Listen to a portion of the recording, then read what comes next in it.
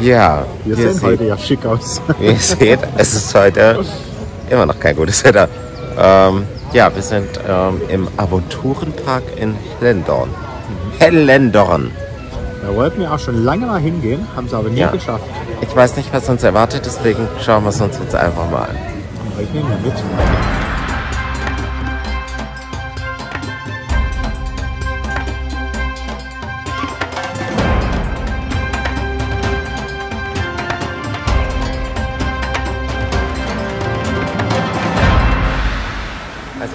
Ist ein Rafting, die werden wir leider nicht fahren. Ah, abwarten, abwarten. Ähm, aber da sieht man, wie eine Wellenmaschine funktioniert. Das ist ganz interessant.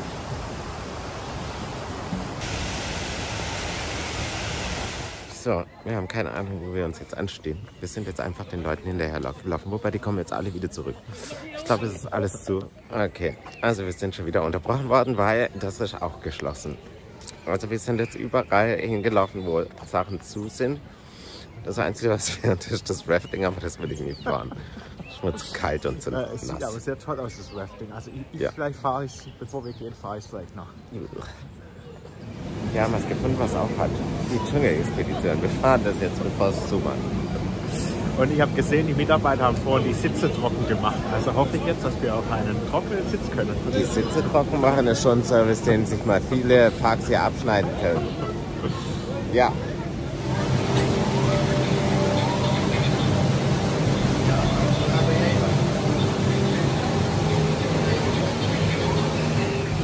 Sind jetzt im Boot, bei uns wurde der Sitz nicht sauber gemacht. Wir sitzen jetzt da mit unserem nassen Arsch auf diesem Boot drauf. Werden schlechter behandelt als holländische Gäste, nur damit es wissen. Skripieren.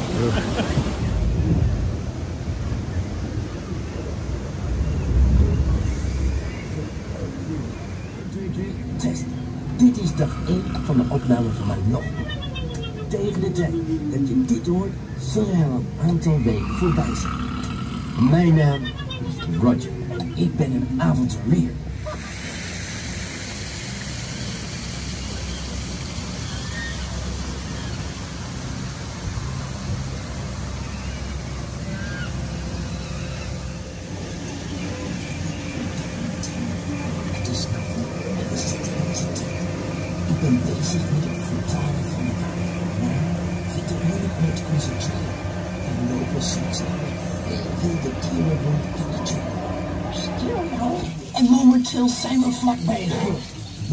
Hier gaan kijken. Wacht even, we zijn nou groot. Daar wil ik niet in. Weet je wat voor dieren een grote rode rotter? En ik hou niet van dieren. Ik ga even door.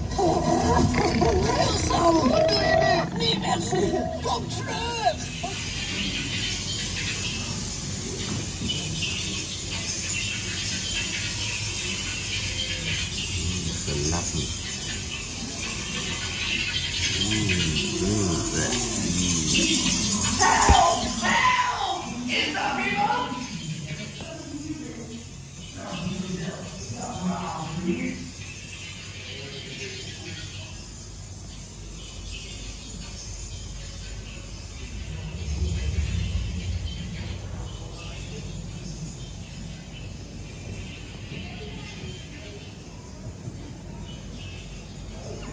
Ja, also wir kamen gerade aus diesem Bötchen raus.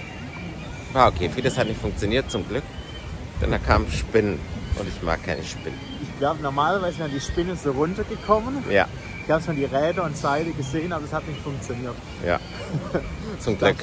weil das findet er ganz eklig. Das wäre so gar nicht meins gewesen. Okay.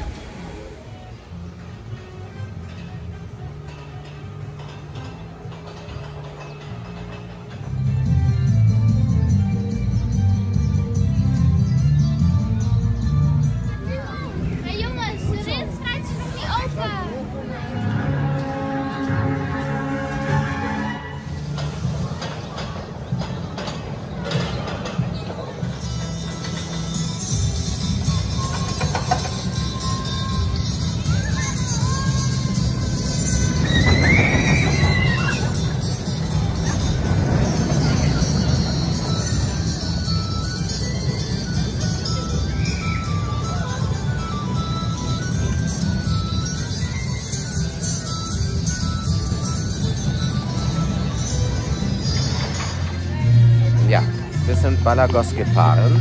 Das ist äh, Veko-Maschine, aber ein Sunkit-Zug. Ja, also ich finde, die sehen nicht schön aus. Ich muss aber sagen, hier hat er überraschend gut angefühlt zum Fahren. Ja, er fährt echt gut. Also da kann man sich echt nicht beschweren. Ähm, aber er sieht leider echt nicht gut aus, dieser Zug. Da hätte ich mir einen schöneren Zug erwartet. Ich fühle mich auch in diesen Zügen nicht so sicher, muss ich immer sagen. Auch wenn sie schön fahren, aber ich fühle mich da nicht so sicher. Ich mag dieses System nicht, dass das der Druckluft angeschlossen werden muss, so wie bei Visa. Ich mag das nicht so gerne. Ja. Aber was ganz cool ist, der hat so ein Tablet, wo der einzelne Sitze entsperren kann und anzeigen. Also wenn, wenn Leute noch sitzen bleiben wollen und muss er nicht den kompletten Zug entsperren, dann kann der auch nur einzelne antippen. Ja. Das ist cool. Und ich mag eigentlich diesen Standard Vekoma Compact Coaster ganz gerne. Der gab es ganz viele davon und es gibt nicht mehr so viele. Nee. Das ist übrigens der gleiche wie in, in du warst beim Black- Flying Tiger. Flying Die haben wir auch schon gern gehabt. hatten wir auch schon gern, ja. Bitte äh, verlinken mal das Video hier irgendwo.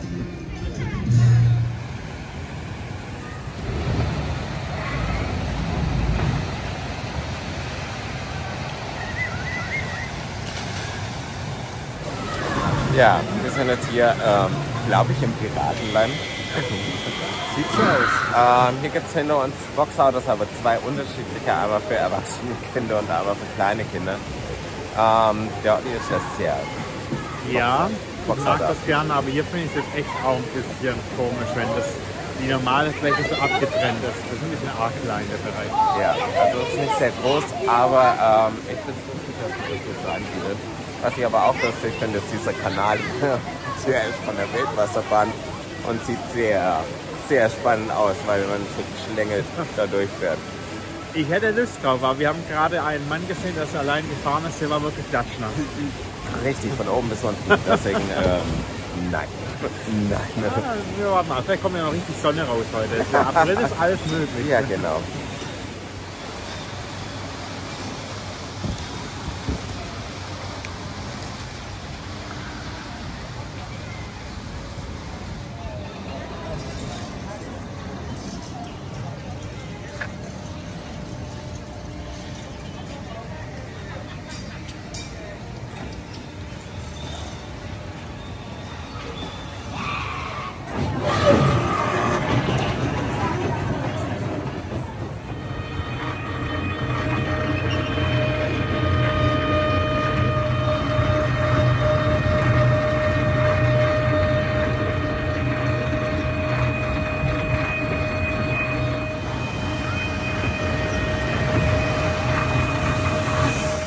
Also hinter uns gibt es noch einen Wasserpark.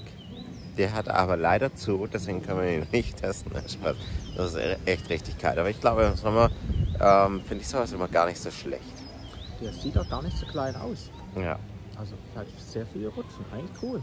eigentlich Ich ganz gut. an und es ist schön bunt. Ja. Ist halt.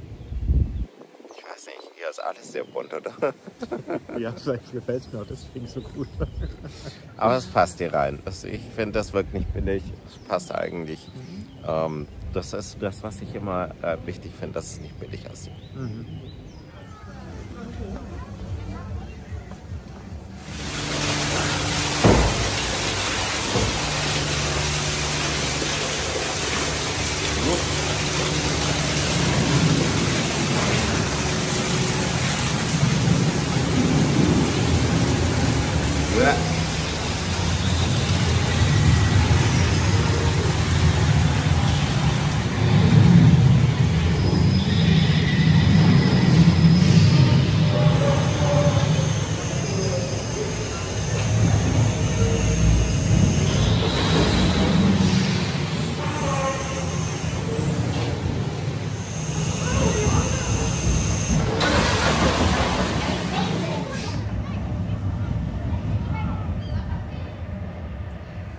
Ja, wir kommen aus einer Dunkelachterbahn raus. Indoor, wie hieß die Indoor Coaster? Keine Ahnung, ich weiß nicht. Äh, sehr leicht zu übersehen, also sehr versteckt. Ja, also hätten wir nicht von außen gesehen, dass da eine Achterbahn ist, hätten wir nicht gewusst, dass da drin ist. Die, der Eingangsbereich oder der Wartebereich also mit Rückklappern so. Der ist echt böse. Der ist so gruselig gemacht. Da machst du dann die Tür auf und ich wusste nicht, ob man da jetzt durch da kann oder nicht durch diese Tür. Und dann läufst du dann dieses enge Gängchen darunter. Es, es soll wohl eine Kanalisation darstellen. Ja, und das trifft es auch ganz gut. ähm, die, die Achterbahn ist quasi die Ratte, die da durchläuft. Ähm, ja, ist ziemlich cool, kann man empfehlen. Ist echt lustig. Coole Effekte. Ja, Also der Mann hinter mir im Zug hat gesagt, es wäre wie Hyperspace Mountain. Ja. So weit würde ich jetzt nicht gehen. würde ich jetzt auch nicht. Aber es ist eine sehr coole Bahn. Ja, das stimmt. Man fährt auch zwei Runden, also es lohnt sich. Ja, lohnt sich.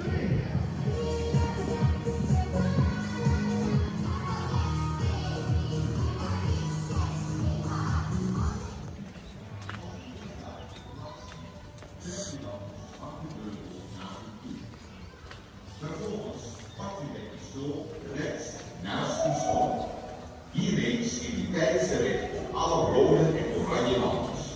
Schiet u raak, dat wordt het lampje groen. En dat levert punten op. Het nummer van uw zitplaats vindt u op de lampenkap boven uw stoel. Na het uitstappen ziet u het puntenaantal op het televisiescherm.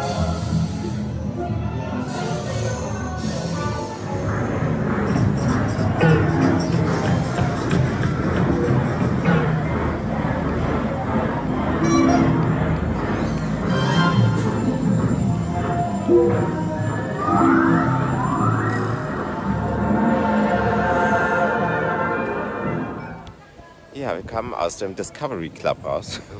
Und das ist hier auch ein Dark Ride. Ähm, allerdings zum Schießen. Normalerweise mögen wir sowas nicht, aber ich fand es jetzt ziemlich gut. Hier geht es auch nicht bloß darum, Punkte zu kriegen, sondern wenn man die, die Ziele äh, äh, trifft, dann bewegt sich immer was. Ja. Das finde ich eigentlich total witzig. ist finde ich ja auch immer toll, wenn das motiviert mich mehr. Ja. Das Ich, ich, das, das geht überraschend lang. Also von Mhm. außen sieht es ziemlich klein aus. Man muss auch wieder in den Keller runtergehen und dann fährt man ziemlich lange. Ja. Ich möchte es nochmal machen, weil ich nicht alles sehen konnte. Das, war, das hat mich total Das, überfrachtet. da gab es voll viel, was man da hat sich was bewegt. Das war schon ziemlich cool. gut. Ja. Wir machen jetzt eine kleine Mittagspause. Ähm, wie das Restaurant heißt, weiß ich nicht ganz genau, aber es gibt hier verschiedene typische holländische Geschichten, wie äh, komischer Käse, den man auf so einem Brot drüber backt. Ich weiß nicht, wie das heißt. Ähm, natürlich Krokettje, das hat André genommen. Gibt es auch als Menü mit Pommes frites und es gibt noch einen kleinen Salat dazu. Ähm, ich habe ein Pulled Pork Menü genommen. Äh, das haben die voll schön angerichtet. Also die haben auch, glaube ich, die Mitarbeiter neu eingelernt, hat er gezeigt, wie man das machen muss. Äh, zusammen mit Getränk und dem Salat hat das jetzt 38 Euro gekostet. Es sieht lecker aus, wir testen das mal.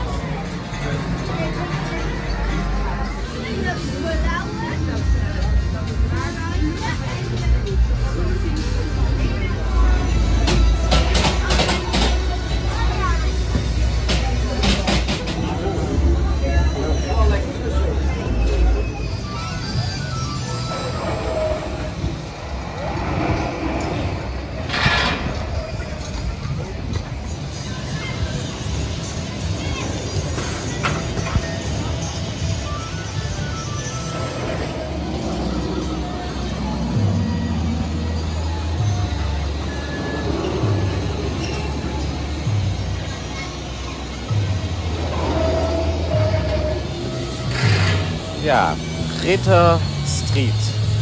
Ritter, Ritter Strück. Keine Ahnung, wie man das hier ausspricht. Das ist der Laut hier. Ähm, ist so ein Spinning XXL Maus, wilde Maus. Ähm, ja, Von Reperton.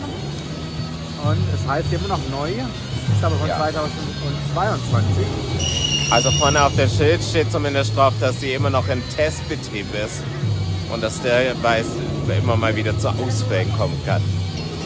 Also ich finde die Thematisierung ist ganz nett gemacht. Ja, Und hier gibt es halt auch so ein bisschen eine Story-Verbindung mit der, mit der Vekoma-Bahn, mit dem Drachen. Ja. der hier von diesen Gonnen bekämpft wurde, wenn ich das richtig verstanden habe. Genau, man kämpft quasi von diesen Gonnen direkt runter. Wir blenden euch diese kleinen Geschichtsdinger mal ein. Und ähm, ja, dann hat man den Drachen in Ketten gelegt und hat dann die große Feier gemacht. Und die findet gerade hier statt. Eigentlich ganz nett. Ja.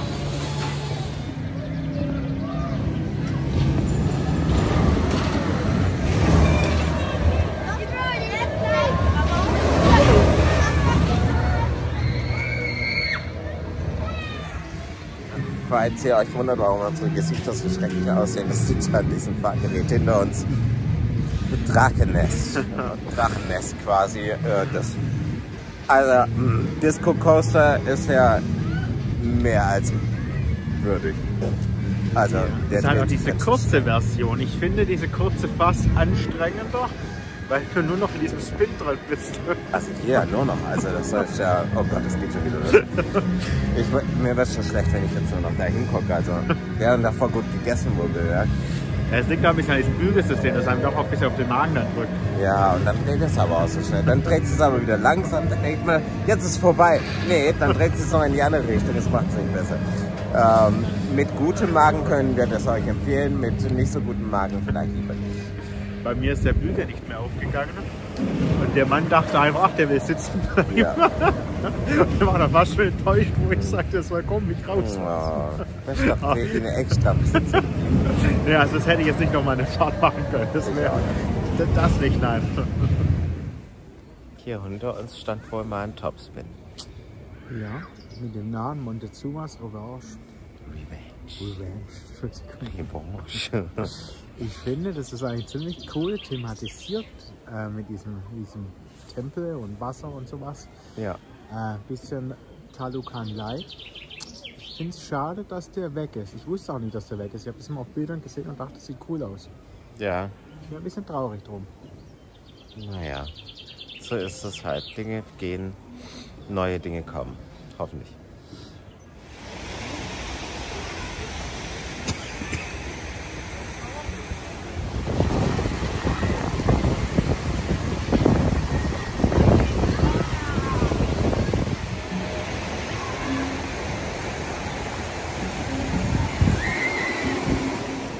Ja, wir haben Rafting gemacht. Wir haben uns getraut. Äh, heute ist es echt kalt und regnerisch, aber das sieht so cool aus. Ja, Wir mussten das jetzt machen. ja. Und so nass wurden wir jetzt nicht. Aber ich glaube auch, man kann da richtig gut nass werden. Nach dem, was wir da gesehen haben, was da alles kommt, so Fontänen, die drüber sprießen, ähm, bis hin zur Wellenmaschine, die auf leicht eingestellt ist. Man wird ein bisschen nass, also es kommt eine Welle, die hat den Olli fast erwischt. Aber sonst war es eigentlich ganz gut. Und die Höhle. Ja, Höhle mit Nebel und Lichtern. Ja, Ich kann mir vorstellen, wenn es im Sommer alles an ist, ist es bestimmt noch besser als jetzt. Ja. Schöne Rafting-Anlage. Ja. Gefällt mir. Mir Irgendwie auch außergewöhnlich. Ja. kenne ich jetzt so in der Art hier auch nicht. Es hat am Anfang ein bisschen wie so ein Rathaus gebaut. Ja. Und man läuft bei dem Anstiegbereich immer entlang an diese Rinne. Also man kann Ja. auch reinlangen und so. Das ist ganz sehr skurril. gefährlich auch. Das der TÜV genehmigen würde. Äh, hinter uns gibt es auch noch eine Achterbahn. Ja, Äh, die wollten wir heute Morgen als erstes fahren, da hat sie aber schon Störung gehabt. ja. Ähm, ich glaube, sie ist zwischendrin mal gelaufen. Aber jetzt Aber- hat sie schon wieder Störung. Also die Und jetzt ist jemand daran. da, der äh, rumschraubt. Mal schauen, ob das heute noch was wird. Hm, ich glaube nicht.